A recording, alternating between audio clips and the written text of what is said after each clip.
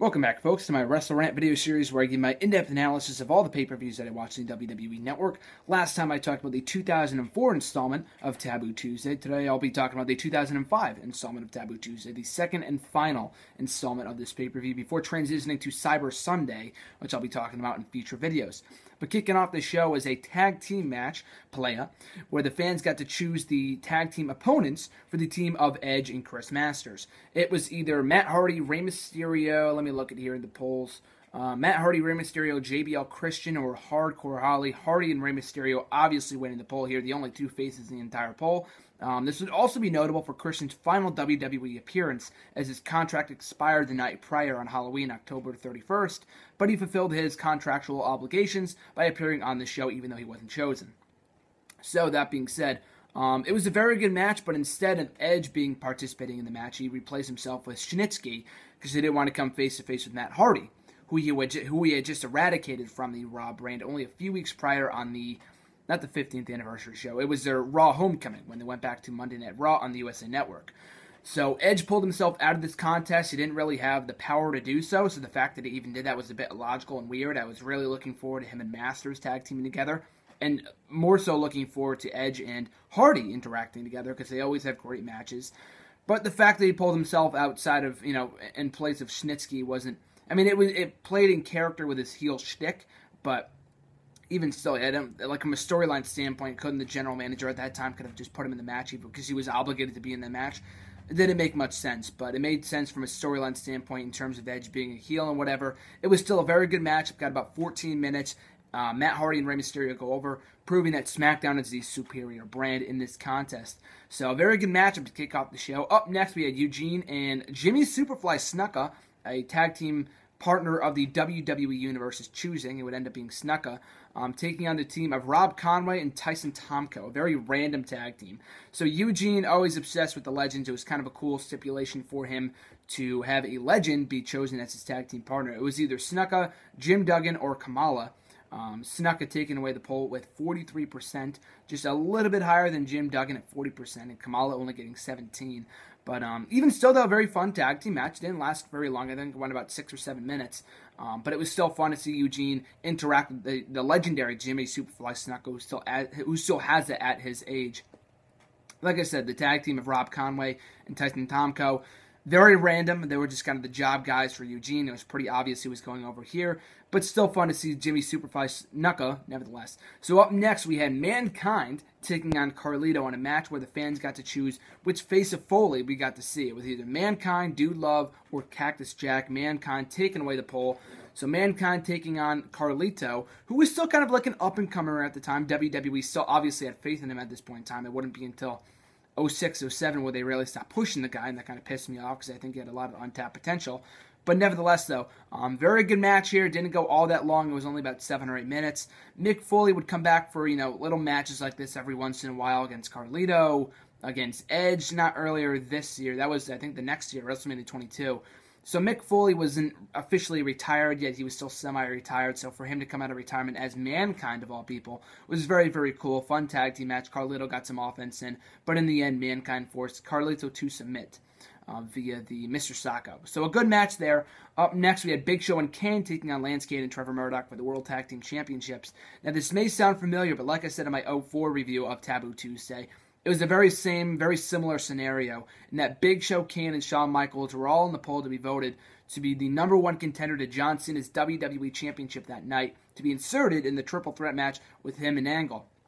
And of course, Shawn Michaels far and away the winner of that poll. Much like the year before, Shawn Michaels was voted to face Triple H for the World Heavyweight Championship the year prior. This year he's voted to face John Cena for the WWE Championship. So obviously it goes it's a testament to how popular Shawn Michaels was, is, and forever will be. But anyway, though, the losers of that poll, much like the year before, were given a World Tag Team title shot. Big Show and Kane. Unlike Chris Benoit and Edge, though, these two were actually on the same page.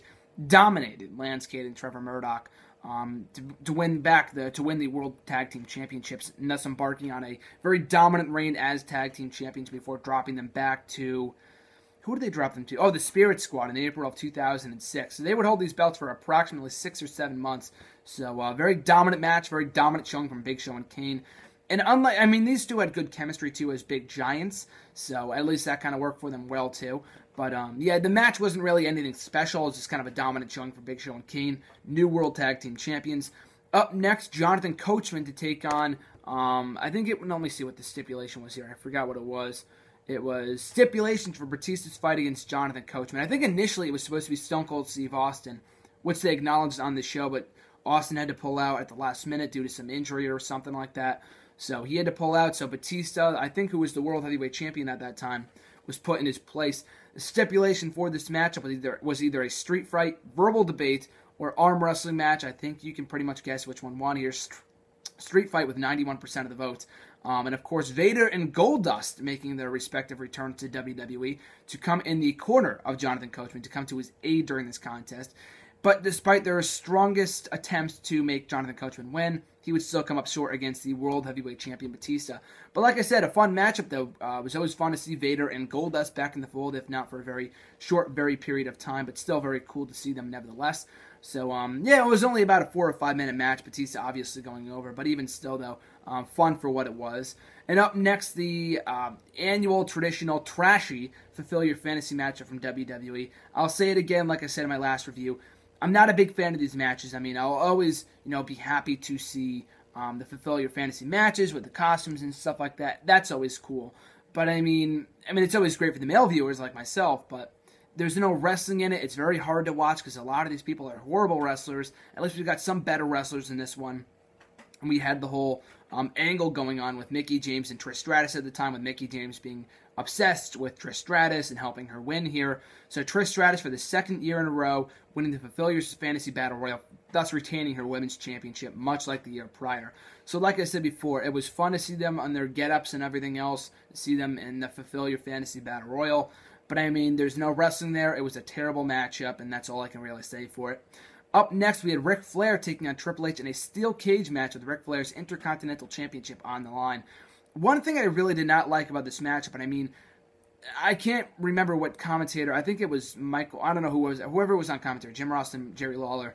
One of them said that the IC title, despite it being on the line, no one gave two shits about the title being on the line. So that kind of devalued the prestige of the Intercontinental Championship. But I think someone else said that Ric Flair, it meant so much to him to win that championship at Unforgiven from Carlito that it'd be, you know, disastrous for him to lose it to Triple H or of all people. So that sort of made it mean something, but for the most part, this match was not over the IC title. I mean, it was the IC title was defended, but that wasn't the main focus of this contest, and that kind of hindered it in the end. So it probably would have been better off not putting the title on the line.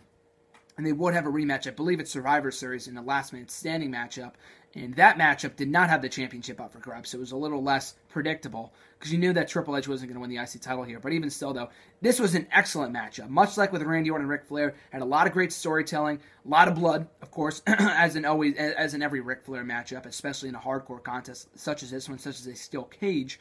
But um, a lot of storytelling, a lot of blood, a lot of great action. Ric Flair and Triple H have always worked well together, so I really enjoyed this matchup. I really enjoyed the history of the feud with Triple H coming back from injury, attacking Ric Flair, selling, saying that he's a shell of his former self. A lot of great stuff here.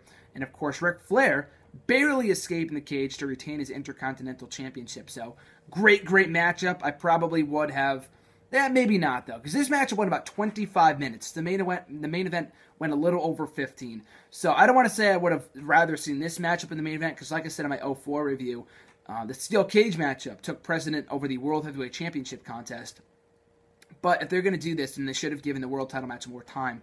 But even still, though, the main event comes along. It's John Cena versus Kurt Angle versus Shawn Michaels for the WWE Championship. It's going to be an instant classic whenever Shawn Michaels and Kurt Angle are in the ring, and this was no exception.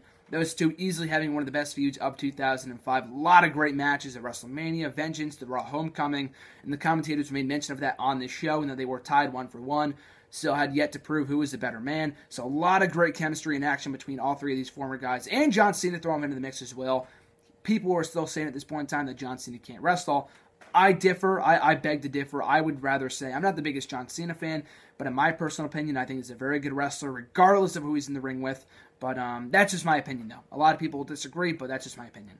Anyway, though, very, very good matchup. My only complaint, like I said before, is that I wish it would have gotten more time. But in the end, John Cena proving supreme to retain his WWE Championship and embarking on one of the longest WWE title reigns in recent WWE history. Um, not as long as his reign from 07, but still pretty long nevertheless, because he would go on to drop it to Edge and New Year's Revolution, and the rest is history.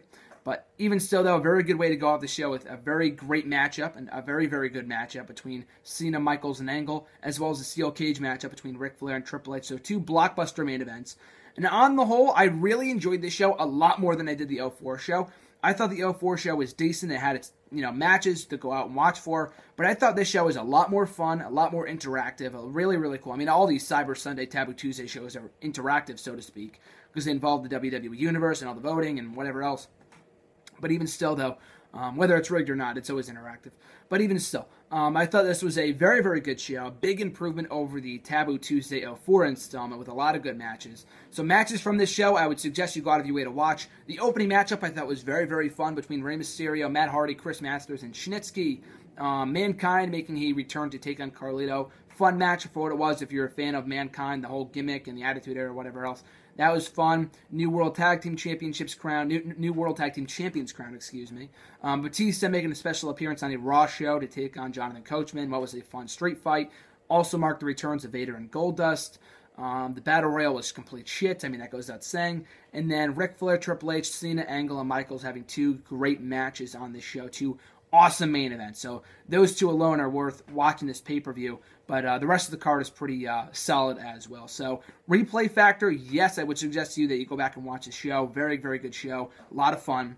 And uh, uh, definitely better than some of the more recent Cyber Sunday shows, which I'll get into in upcoming editions of Wrestle Rant in coming weeks.